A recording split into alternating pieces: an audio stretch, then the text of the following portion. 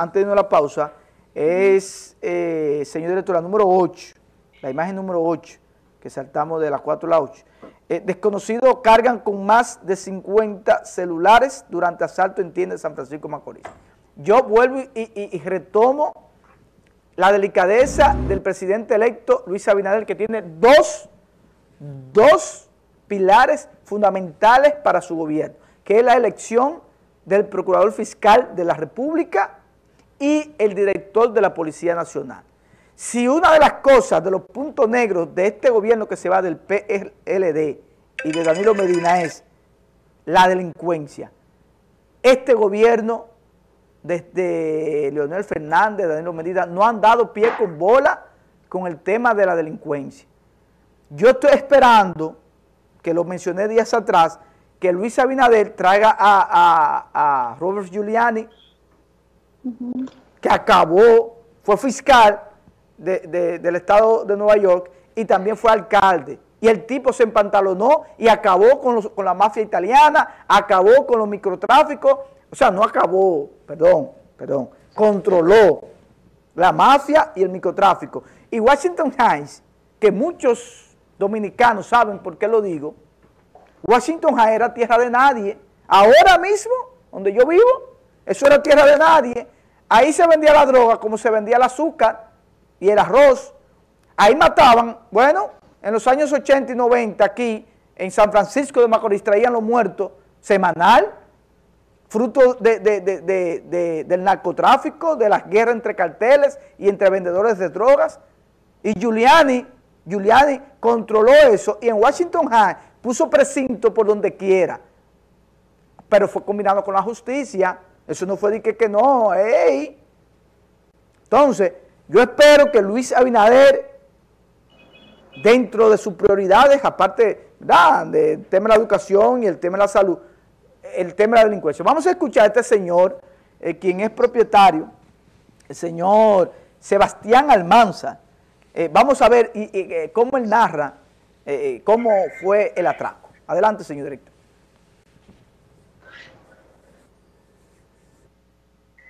Sebastián Almanzar. Sebastián, ¿cuál fue la situación en tu negocio? La situación pasó fue que vinieron dos individuos. Primero vinieron estilo clientes, tú sabes, que, que estaban de que, como una, reportados por una tapa de Note 5. Ahí duran un rato, duran como más o menos alrededor de 5 o 10 minutos ahí. Pero, o sea, parecía todo normal. Luego se fueron como a los 20 o 25 minutos regresaron para atrás, entonces ahí fue que cuando entraron los dos, vinieron con unos fuegos, son gente normales, y ahí fue que ellos sacaron un arma y encañonaron a todos y nos amarraron y se llevaron todo, o sea, llevaron el equipo de adelante, el equipo de reparación, todo se llevaron. ¿Pudiste reconocer a uno de ellos tú? No, no pude reconocer. O sea, que con la mascarilla. ¿En de cuánto te llevaron de artículos? Eh, artículos promedio hay eh, entre todo en total de 45 o 50 teléfonos por ahí más o menos, algo así. La mayoría son todos iPhone, la mayoría. La mayoría. 90% son iPhone, ajá. Ok, ¿y pusiste la denuncia? Sí, sí, claro, yo hice la denuncia. Estamos en espera a ver que puedan resolver, a ver si se puede con ese individuo. ¿Eso fue cuándo? Eso fue antes de ayer, a las 11 y 20 minutos de la mañana. Te voy a confesar algo, Veloz. Te voy a confesar algo.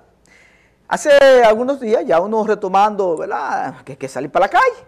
Y estaba eh, eh, visitando un cliente en las Guaranas, una tienda de repuesto. Y yo estaba ahí esperando, y yo tenía mi celular en mano, y yo veía que venían muchos jóvenes, motores, medio extraños, y yo estaba asustado. Yo estaba asustado. Oye, yo, yo estaba con, así mira, que les recomiendo a la gente que no anden alelados en la calle, porque la gente andaba, andando así. Dios mío. ¡Ande activo. Y yo, yo tenía un plan de acción. Yo dije, bueno, si viene alguien, me voy a tirar para el almacén, o me voy a tirar en el suelo, o el celular lo voy a tirar. Ya yo tenía varios planes. Cuestión de que mi vida y mi celular, que es una inversión que tengo ahí, no me, no me lo robaran. Y así es que estamos en este país, que yo espero que Luis Abinader, a partir del 16 de agosto, ponga control en esta delincuencia. Porque es que, es que, es que esta delincuencia también es un lío. Esto, esto igual, es, parte del COVID. Estamos, en espera del próximo director de la policía que aún, aún no lo anuncia. Claro. Mira, tenemos que desconectar, veloz, de nuestro canal hermano, Canal América, que, será, eh, que es de 11 a 1 de la tarde. Eh, vamos a una pausa y vamos a aprovechar para hacer una pausa aquí, señor director, también en República Dominicana, para continuar con más eh, del desarrollo ya en la segunda hora. Tenemos más noticias y tenemos a Joel Escoto, quien estrena nuevo videoclip aquí, en su casa, el toque del mediodía, luego de la pausa. Gracias.